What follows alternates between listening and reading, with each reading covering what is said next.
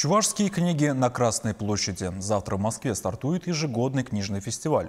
Наши издания тоже отправились покорять Москву.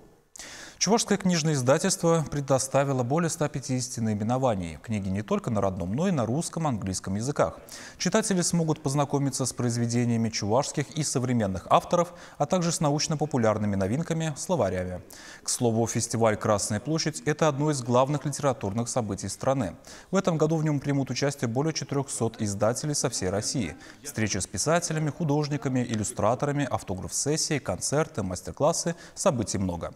Если невзначай на этих выходных будете в Москве, а фестиваль продлится до 6 июня, то загляните в шатер номер 16. Там будут с нетерпением ждать ценители чувашской литературы.